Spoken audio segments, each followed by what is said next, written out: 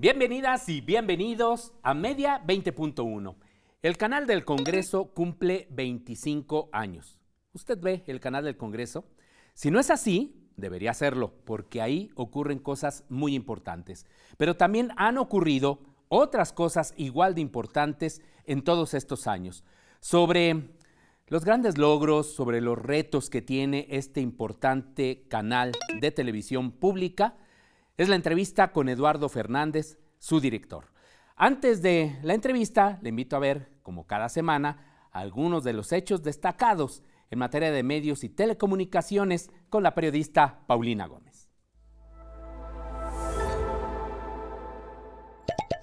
Las organizaciones Artículo 19 y R3D publicaron un informe en el que sostienen que el ejército mexicano espió al defensor de derechos humanos Raimundo Ramos y la comunicación que sostuvo con varios periodistas. Al respecto, durante la conferencia matutina del 10 de marzo y luego de ser cuestionado por la periodista Nayeli Roldán, el presidente Andrés Manuel López Obrador afirmó que la Secretaría de Defensa Nacional y el Centro Nacional de Inteligencia no espían a opositores ni a periodistas. Nada más que le quede claro, nosotros no espiamos a nadie. No es el tiempo de los gobiernos neoliberales. Nosotros hicimos aquí el compromiso de que no íbamos a espiar a ningún opositor. En la misma conferencia del 10 de marzo, el presidente López Obrador también detalló los nombres de periodistas que recibieron dinero del gobierno de Enrique Peña Nieto y que ahora son, en la mayoría de los casos, críticos de su gobierno. Con Enrique Peña Nieto se oficializa el pago directo a periodistas y columnistas por su trabajo en los medios, además de financiar sus portales personales. Se tiene una lista de 36 comunicadores que recibieron entre todos 1.029 millones de pesos entre 2013 y 2018. El que más destaca por sus ingresos en tres sexenios es Joaquín López Dóriga, quien obtuvo en ese periodo más de 446 millones de pesos en contratos con el gobierno, siendo el de Peña al que más dinero facturó, 249 millones de pesos, a través de cuatro empresas. Durante un conversatorio organizado por la agrupación Reflexión Ciudadana y en el contexto de los 33 años de la Jornada de Oriente, el presidente del Sistema Público de Radiodifusión del Estado mexicano, Genaro Villamil, dijo que desde 1988 no había llegado a la cúspide del poder un gobierno que no tuviera que deberle al poder mediático su victoria, como ocurrió con Andrés Manuel López Obrador. Esto, a su parecer, le permitió al presidente crear un nuevo modelo de comunicación en el que se ha priorizado a las audiencias. En tanto, el presidente de la red de radiodifusoras y televisoras culturales y educativas, Fernando Sánchez Mejorada, dijo que efectivamente se está configurando un nuevo modelo de comunicación cuya base está en los medios públicos, con más producciones de calidad y una mayor relación con las audiencias, un modelo alejado de la lógica comercial que por décadas impuso Televisa. Desde entonces, desde 1988 a 2018, un arco de casi 40 años, no había llegado al poder político, al, a la cúspide del poder político, alguien que no solamente no le debe nada al poder mediático tradicional, sino que además los venció. Con un recorrido sonoro en recintos culturales de la Universidad Autónoma Metropolitana, mesas de análisis y espectáculos musicales, Guam Radio celebró sus primeros 12 años de vida. La transmisión especial se hizo conjuntamente con Radio IPN el pasado 10 de marzo. El rector general de la UAM, José Antonio de los Reyes, así se refirió a este aniversario. Son tiempos de cambio en casa y One Radio cambia con ella. En 2023, nuestra estación universitaria cumple 12 años de transmisiones ininterrumpidas con el reto de ofrecerte nuevos contenidos y nuevas formas de comunicar el quehacer universitario de todas y de todos. En One Radio hablamos de ti. Descarga la app y hagamos radio juntos. Gracias a Paulina Gómez y muchas gracias a usted y también, por supuesto, a nuestro invitado Eduardo Fernández. Eduardo, qué gusto que nos acompañes en este programa. Gabriel, me da mucho gusto platicar contigo, con tu audiencia, estar en la casa de la televisión universitaria, que es un orgullo y un prestigio. Así que te agradezco mucho la invitación para hablar de los 25 años del canal de televisión del Congreso de la Unión. Antes de, de que nos platiques algunos de los logros, retos y todo esto, a ver, ¿por qué no le dices a nuestra audiencia por qué debería de ver el canal del Congreso? Mira, yo iniciaría diciéndoles que aquel canal del Congreso que alguna vez estuvo en su imaginario eh, ya se transformó. Eh, en algún momento eh, Porfirio Muñoz Ledo me dijo, ah, el canal del bostezo. Y le dije, no, ya no es el canal del bostezo me hacían otras bromas como diciendo, el canal del Congreso es una programación que yo recomiendo para los amigos que padecen de insomnio. Mm. Bueno, esa visión del canal ya no es más. Eh, y te lo voy a poner en estos datos.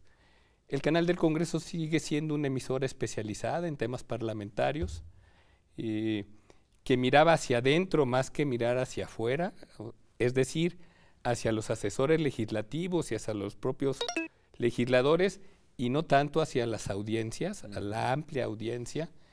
Y desde 2018 en adelante iniciamos un proceso de reconocimiento de que era necesario transformar la pantalla. Y pasamos de tener el 68% de nuestra, de nuestra pantalla, de nuestro aire, dedicada a actividad legislativa, a tener hoy en día solo el 40% del aire dedicada a la actividad legislativa. ¿Qué hicimos con el tiempo que dejamos de transmitir actividad legislativa? Tomamos las agendas de las minorías, tomamos las causas sociales y las llevamos a la pantalla. De manera que las producciones propias del canal pasaron de 22% a 40%.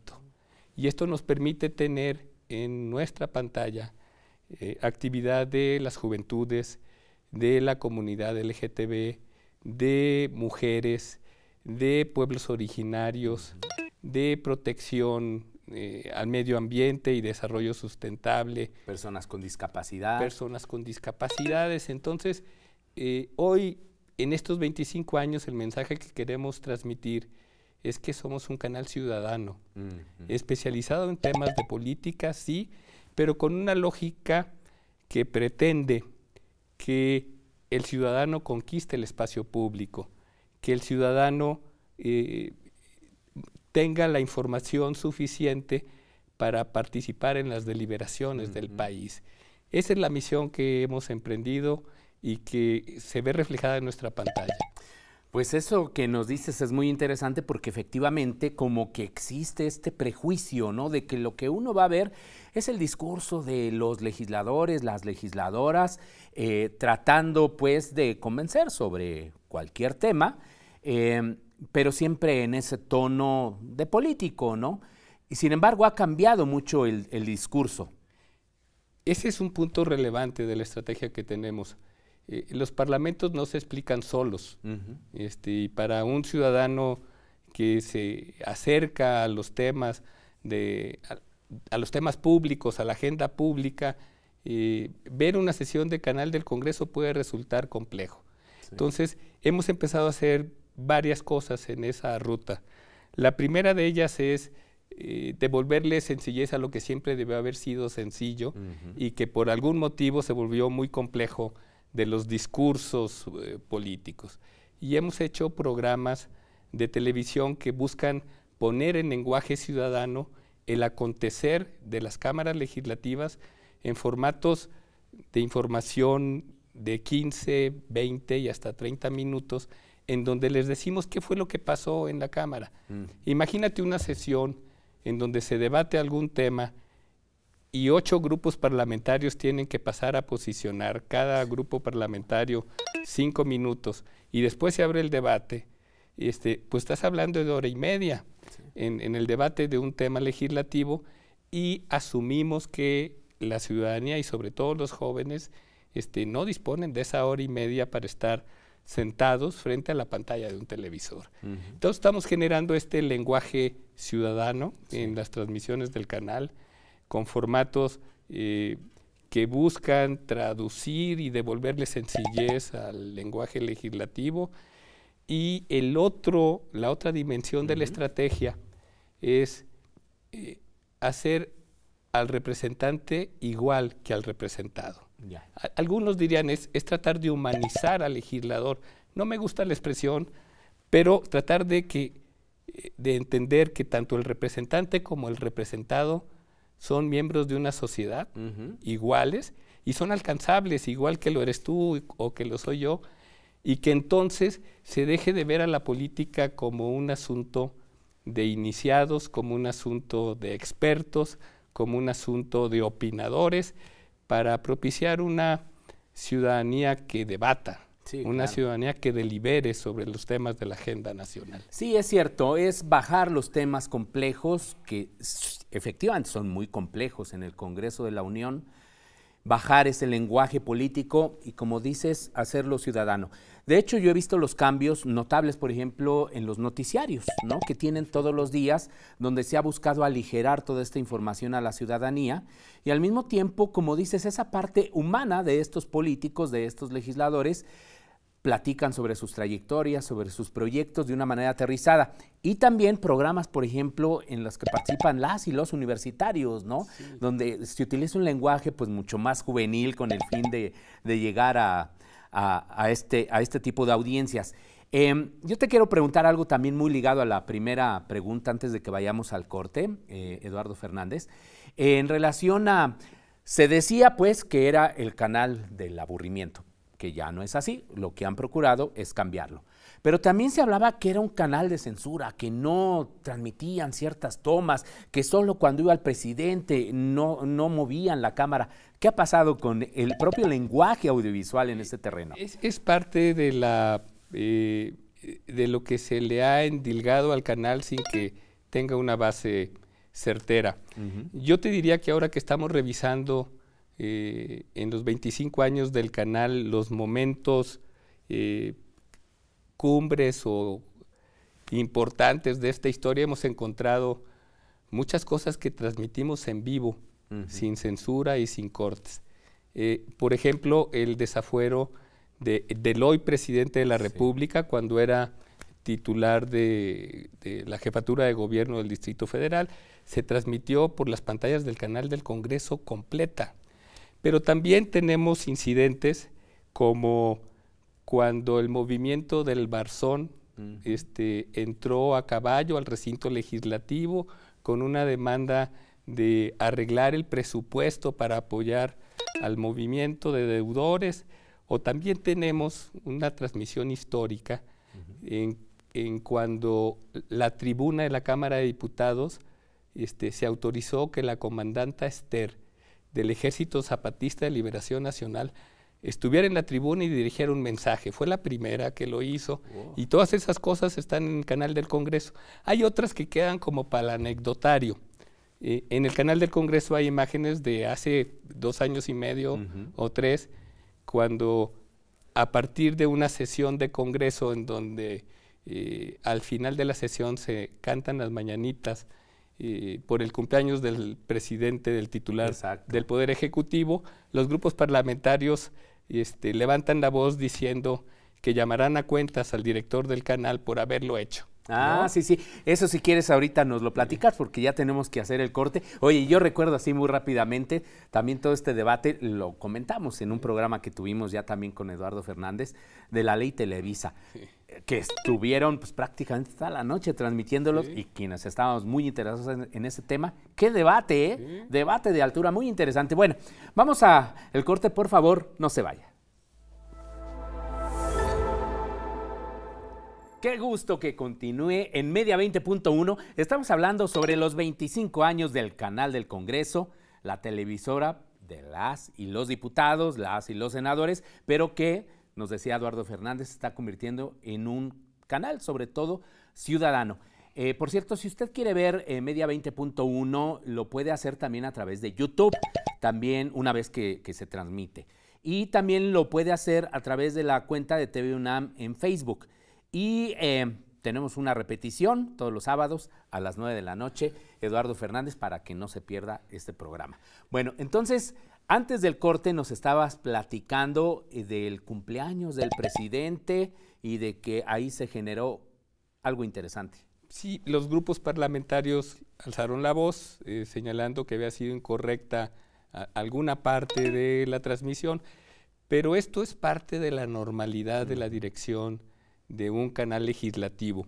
Déjame decirte que cuando revisas la historia, en el año 2000, 2002, este, en una sesión 3 de la mañana, este, en, en una sesión al final, se, se refiere a que se recibió un escrito firmado por 410 legisladores pidiendo llamar a cuentas al entonces director del canal, Virgilio Caballero.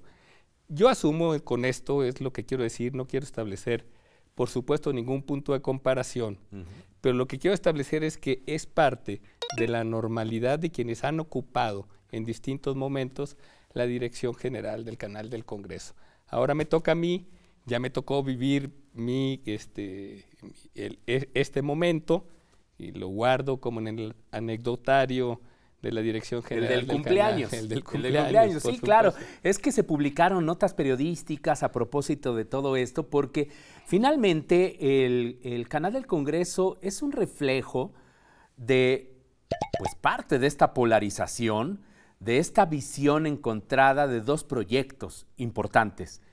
Sí, Indudablemente es parte de la temperatura este, social, del ánimo social, pero también es un reflejo de la capacidad de construir acuerdos. Y el, el, canal del Congreso nace en el 98 para regresar a los 25 años con la llegada de la pluralidad a los recintos parlamentarios. O sea, nace cuando ninguna de las fuerzas políticas tiene mayoría suficiente como para tomar decisiones por sí sola. Y es cuando nace el canal del Congreso.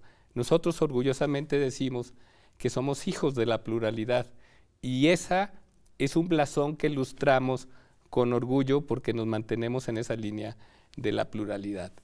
Hoy que estamos este, por cumplir 25 años, tenemos muchas cosas este, de que eh, enorgullecernos. No son en su totalidad o en exclusiva atribuibles a la actual administración del canal del Congreso, porque yo soy de los que piensa que se va sembrando, se van este, poniendo bases y al final se va cosechando lo que se sembró en otras administraciones. Hoy, por ejemplo, el canal tiene eh, mucho más que un canal de televisión. Tiene una plataforma de medios de difusión parlamentaria porque tenemos tres frecuencias de televisión. Tenemos Radio Congreso, tenemos ocho canales de streaming propio y transmitimos eventos legislativos en cinco redes sociales. De manera que tenemos eh, a disposición de la audiencia y al servicio de los legisladores muchas vías para difundir el trabajo legislativo.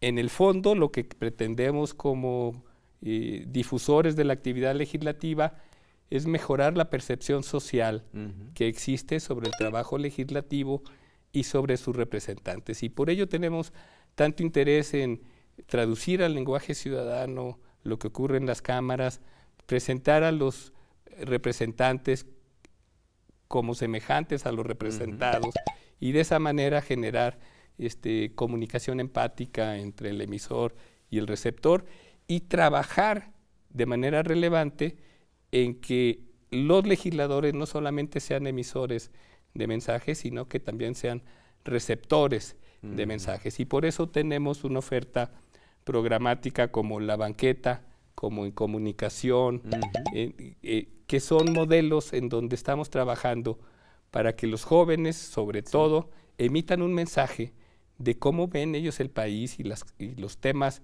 nacionales y los legisladores sean quienes reciban esa comunicación. Entonces nos sentimos muy satisfechos de este esfuerzo que culmina, diría yo, si me permites, con la muy venturosa eh, función y, e integración del Consejo Consultivo Ciudadano del Canal del Congreso, en donde participan 11 destacados miembros de la academia, de los medios, de manera desinteresada y de manera honorífica en esto, y que para la celebración de hoy, de estos 25 años, nos han dado la sorpresa de, eh, plantearnos la entrega dentro del evento de premios a las mejores producciones del canal del Congreso. Mira, qué interesante que durante sea el propio consejo. 2020, 21 y 22, tomando en cuenta que el 20 fue un año prácticamente marcado por la pandemia, pero 21 y 22 ya hubo mucha actividad que estuvimos haciendo. El Consejo Consultivo estableció siete categorías, evaluó 37 producciones del canal del Congreso durante esta etapa y bueno, ya son públicos, pero déjame decirte, por ejemplo, que en la categoría de divulgación, el Consejo Consultivo decidió otorgárselo a un programa que hace el canal del Congreso con el Instituto Nacional de Acceso a la Información y Protección. Ah, no? Sí, lo he visto. Derecho a Saber se llama el programa, y en, la categoría de divulgación le dieron el, premio a ellos. Y en la categoría de inclusión, este, me comunicaron que hay un empate. Ah. El empate es entre eh, Vivas, Libres y Sin Miedo, que es un programa que visibiliza la agenda eh, de las mujeres y con un acento particular en la agenda de las mujeres en la calle, las que se, las que se manifestaron recientemente en Ciudad de México y que recorrieron este, las calles. Y el otro es un programa que se llama Consonantes, que se visibiliza la agenda de la comunidad LGTB y este, todas aquellas que se suman a este movimiento. Y son programas muy, muy fuertes, con una, con una carga de información y temas realmente muy relevantes. Oye, pues felicidades. ¿No te hubieras imaginado que estuvieran en el canal legislativo? No, la verdad es que no, ¿no? Por eso de ahí la invitación a nuestra audiencia que, a que vea el canal del Congreso. Ya para cerrar, eh, que nos quedan unos, unos segundos, Eduardo Fernández, ¿qué otras actividades destacarías sobre este aniversario o quizás alguna sorpresa que venga en los próximos meses? Mira, eh, iniciamos las celebraciones y las vamos a mantener a lo largo del año. Iniciamos la celebración con, con, un evento de integración con todos los eh, colaboradores del canal. Yo siempre digo que yo formo parte, formo filas con un gran equipo de técnicos y de ingenieros. Y entonces el, el, día de la Candelaria nos organizamos unos tamales y estuvimos reunidos todos los integrantes del canal. Es que ahí volteó, ¿no? Porque aquí está parte del equipo. Eh, luego, este, hicimos la entrega de reconocimientos a los caricaturistas políticos, a los caricaturistas que publican en medios nacionales, porque han formado parte de una serie que llamamos No disparen, soy monero.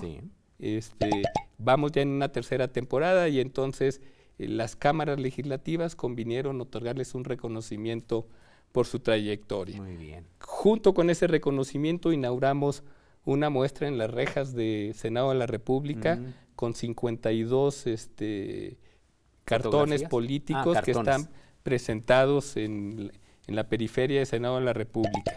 E, este evento, el grande, el del 16, el de hoy, en donde vamos a celebrar los 25 años con la entrega de los premios del Consejo Consultivo Ciudadano a las producciones del canal y la presentación de nuevas temporadas y nuevas producciones del canal. Y hacia adelante eh, tenemos contemplado pues un par de sorpresas más, no, ah, me, no me gustaría... No te quieres adelantar.